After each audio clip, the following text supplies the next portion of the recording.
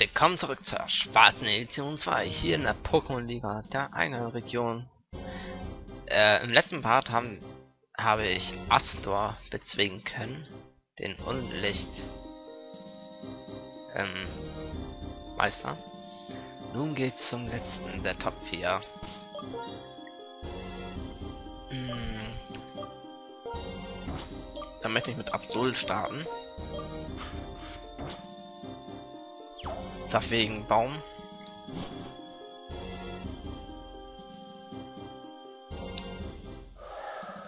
Denn sie wird mit Geister-Pokémon antreten.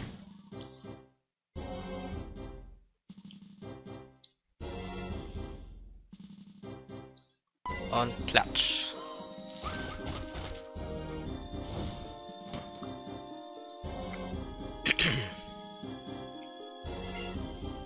Auf seiner unablässigen Suche nach der Bedeutung der Wünsche streifte er an der Seite des schwarzen Pokémon die Welt. Hat dir das gefallen? Das war ein Auszug aus meinem Roman, den ich schreibe, der die Ereignisse vor zwei Jahren beschreibt. Oh, ich bitte um Verzeihung. Das hat alles nichts mit dir zu tun.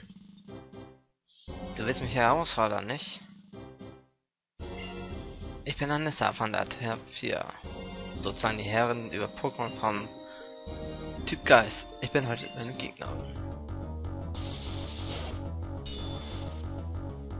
Anissa.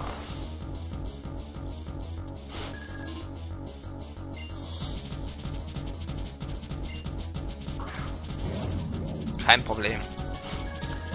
Das Problem an Echnatal ist, ich muss danach austauschen. Weil es mich dann zu einem... Weil es meine Fähigkeit dazu bringt. Obwohl... Egal. Kann ich auch drauf verzichten.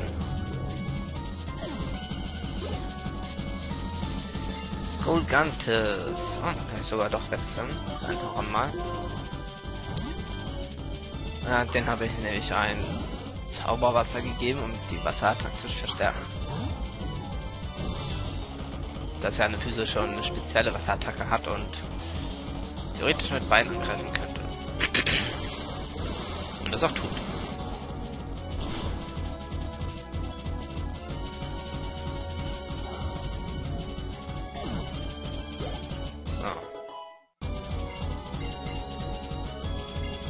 Nächstes kommt trifft Zeppeli. Nein, sogar auf Voltola gehen. Hm. Mit dem Magneten sollte es kein Problem sein, Christabelli zu bezwingen.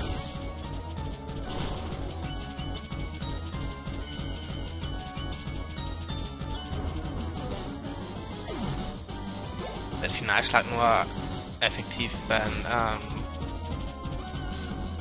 äh, na ähm, mit einer physischen Attacke Stabili besiegt.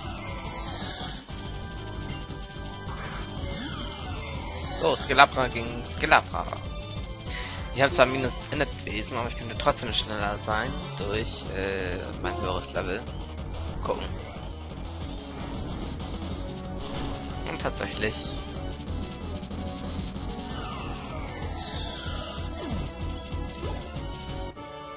Top 4 Anissa Wardle besiegt.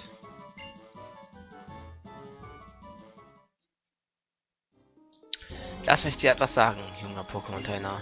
Der Person, der es gelingt, die Top 4 zu bezwingen, gebühre die Ehre, die Kammer des Champs zu betreten. Du hast uns bewiesen, dass du diese Ehre mehr als würdig bist. Begib dich daher zum Forum, untersuche die Statue.